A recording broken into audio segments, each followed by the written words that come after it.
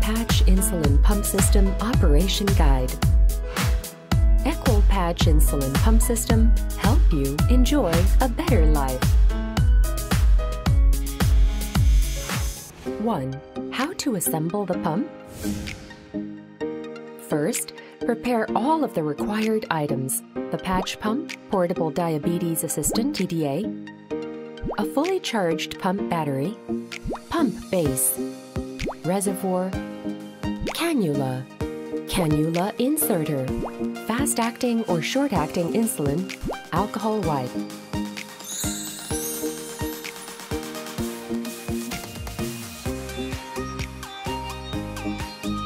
Remove the new reservoir from the packaging.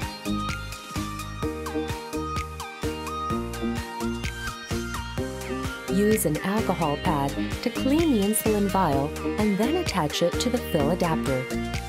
With the insulin vial on top, slowly pull the pull rod and draw insulin into the reservoir. Remove the insulin vial. Tap the side of the reservoir to encourage any air bubbles to rise to the top of the reservoir. Push the pull rod slowly to eject the bubbles and make sure there are no air bubbles. Pull the two release tabs away from the reservoir to release the fill adapter.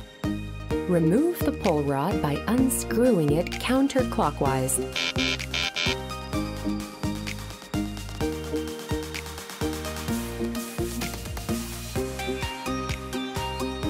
Now attach the reservoir and battery to the pump. Always install a fully charged battery with a newly filled reservoir. Be sure that the battery is inserted in the correct orientation. 2. How to set up the infusion set? Choose an appropriate place for the infusion set. The stomach is preferred, followed by the upper arm, the lateral thigh, the lower back, and buttocks.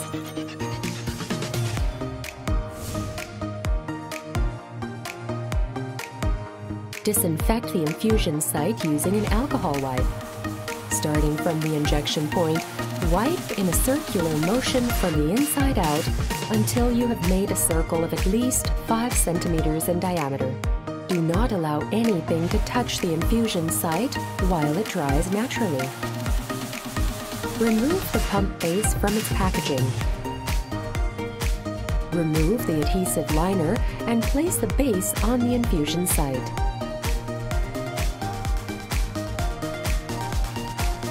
Open the cannula pack as indicated on the packaging.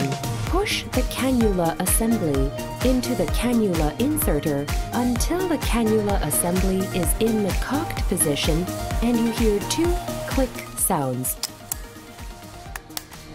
You should see that the cannula assembly is connected firmly to the inserter and the inserter is stable in the cocked position. Remove the protective sleeve. Align the front end of the inserter to the base as shown. Press down until you hear a click. Now press the two opposing release buttons, orange, on inserter at the same time and the cannula will be inserted into the base. Release the inserter from the pump base by pressing the button near the bottom of the inserter. If the introducer needle or needle hub remains on the cannula, carefully remove it from the infusion site. If the needle remains in the inserter, place the protective sleeve back onto the needle hub. Firmly push the top of the inserter to eject the needle hub and dispose of properly. 3. How to set up the pump. 1. PDA Settings Wizard. Turn on the PDA by pressing the power button. The first time you turn on the PDA, you will see the Settings Wizard, which will guide you through basic setup options. After entering the Settings Wizard, you will be presented with the time and date setup screen. Recommend to choose 24 hours. The second screen in the Settings Wizard shows the basic basal settings. Include the maximum basal rate setting, base basal rate setting, temporary basal rate setting. You can modify the default values as needed. Choose Next to enter the basic bolus settings. Include the bolus increment,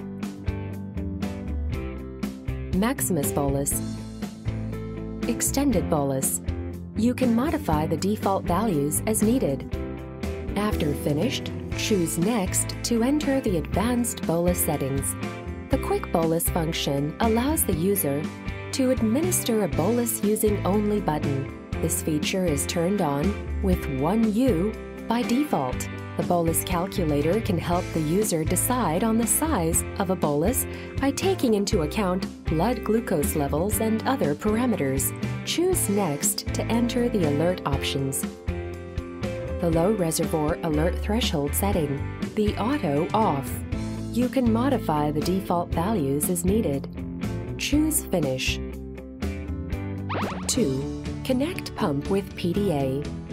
Enter the new pump serial number in the space provided using the on-screen keyboard.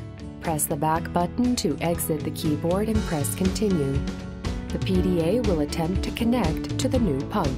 After the new pump has been activated, the PDA will show a confirmation screen. Press the prime reservoir button. The plunger will begin to move slowly. Continue to press the button until you see a drop of insulin on the needle tip. Now press Continue. Connect the pump to the infusion set and press Continue. Now choose whether or not to prime the cannula. 3. Base basal rate. Press the button to add a new basal time period. After editing is complete, the base rate time will automatically be divided into multiple time periods. Press the Change Basal Program Name button to open the Change Name dialog box. Change to the desired name. After you have completed editing the Basal program, press Save Settings to save and exit the Basal Edit screen. From the home screen, press the Basal function button to enter the Basal screen. Select the correct Basal program by choosing the correct tab. 4. Bolus 1. Manual boluses. From the home screen, choose the Bolus button to enter the Bolus screen. Choose the Bolus button in the upper left corner to open the dialog box. Choose your bolus size and press OK. While the pump is delivering, the PDA will revert to the home screen and display the bolus status. 2. Bolus Presets The bolus screen contains three programmable preset boluses. You can set up each of the three present boluses they are empty by default. Press the button to open the preset dialog box. Edit the parameters to create a new preset. And you can change the name. 3.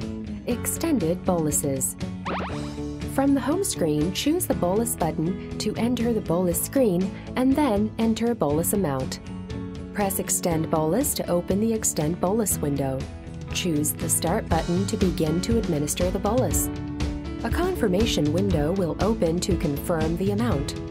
Choose OK to confirm and the PDA will send a command to the pump to start delivery.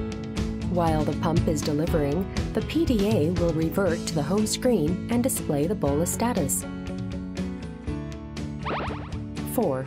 Quick Boluses Press and hold the bolus button on the patch pump the pump will give an audible alert which indicates that you can enter a quick bolus amount. With each subsequent button press, the bolus size will increase by a predetermined increment. This increment can be set in the Settings menu. Also, every time you press the Enter Select button, you will hear a beep from the pump to confirm that you have pressed the button. Each time you press the button, the tone will ascend in pitch, up to 5. After you have set the correct bolus amount, wait for 3 seconds and the pump will repeat the audible tones back to you to confirm the correct number of bolus increments. If the number of tones is correct, press the pump button one last time and the bolus will be administered. 4. How to replace the patch pump. Slide the white button on the top of the reservoir and remove the pump from pump base.